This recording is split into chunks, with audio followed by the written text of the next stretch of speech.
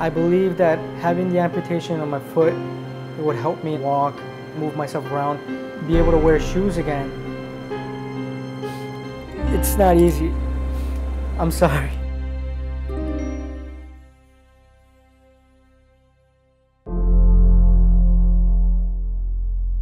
Twenty-six-year-old Jeffrey Ortega has a condition called Proteus syndrome, which affects only 200 people in the world. It's characterised by overgrowth of the bones, skin, and tissue, and has affected Jeffrey's hands, hips, legs, and most of all his feet, which are a size 16.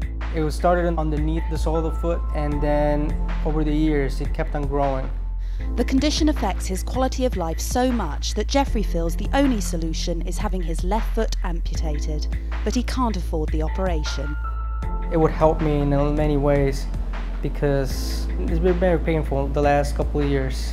Unfortunately, I don't have the sources for it, but I'm in the desperate need of amputation. Jeffrey's condition became apparent when he was only a baby and progressed quickly.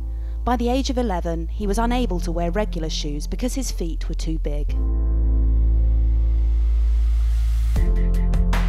I used to be with just socks or bare feet. I was bullied a lot. I was, you know, from being spit on making fun of the shoes. They used to say that I used to wear my dad's shoes. Jeffrey's mother, Alithia, also faced prejudice due to her son's rare condition. Yo decidí movernos a un apartamento donde él había una piscina, porque yo he pensado de que si él está en una piscina puede mejorar los movimientos de su cuerpo. Entonces comenzaron a decir que no, que cuando Jeffrey estaba en la piscina las personas no entraban a la piscina, que si queríamos seguir viviendo en ese sitio tenemos que tener una carta donde dijera que su enfermedad no es contagiosa. Eso duele. One of the biggest challenges for Jeffrey and his mother is keeping his feet clean because of the crevices that have formed in his swollen flesh. If I didn't wash my feet during the day when I was in college, the odor was so strong that even flies start falling on my feet.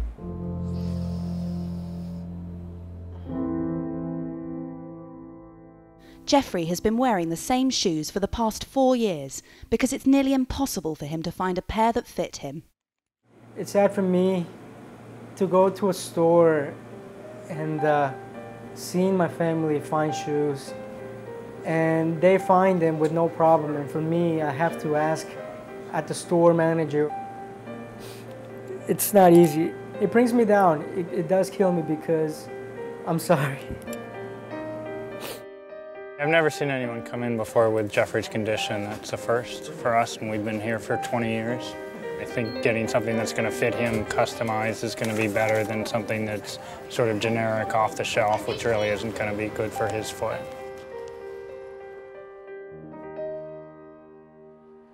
So far, Jeffrey has had 11 unsuccessful surgeries performed on his legs. He's now so desperate to improve his quality of life, he's considering extreme measures. The good solution we thought of uh, amputation. It would help me because I can walk again and even I can, you know, not able to use a wheelchair anymore. I can start walking. Jeffrey says that doctors have agreed to amputate, but only if he can fund the operation himself. On the GoFundMe.com, I put in the campaign. The whole procedure, it's cost almost in the $30,000, almost to $40,000, because it can be from the process of doing the surgery, buying the prosthetic, and doing the follow-ups. Aquí es difícil, sobre todo una mujer sola con un hijo, pero siempre Dios ha puesto ángeles en nuestro camino, siempre. Mi mayor deseo ahora es que algún buen corazón nos pueda ayudar con la amputación y su prótesis. Eso es nuestro mayor deseo.